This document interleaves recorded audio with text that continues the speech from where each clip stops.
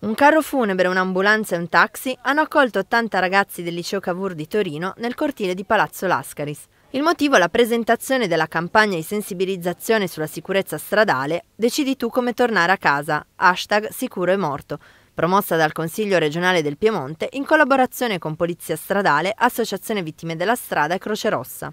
Un incontro che con testimonianze, esempi, video e test ha voluto colpire i ragazzi dritto alla pancia per fargli capire le conseguenze che possono esserci con una guida distratta e in violazione delle norme stradali.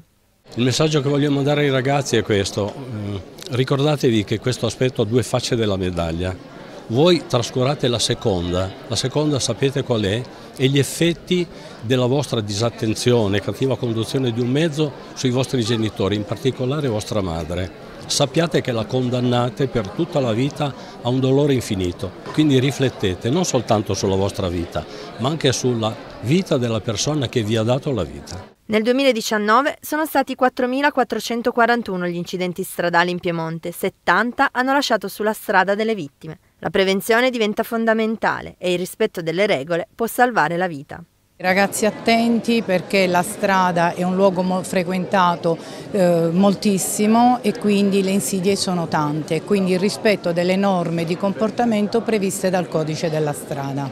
Un incontro che si spera abbia lasciato nei ragazzi la consapevolezza di quanto sia importante salvaguardare la propria incolumità e quella degli altri.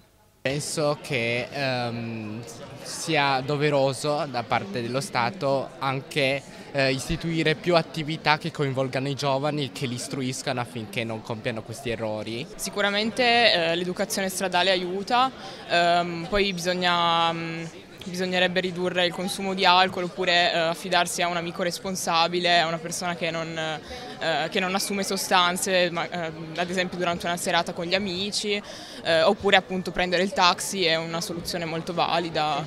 Dall'inizio dell'anno scolastico la Polizia Stradale ha incontrato circa 1600 ragazzi. Gli incontri proseguiranno fino alla chiusura delle scuole.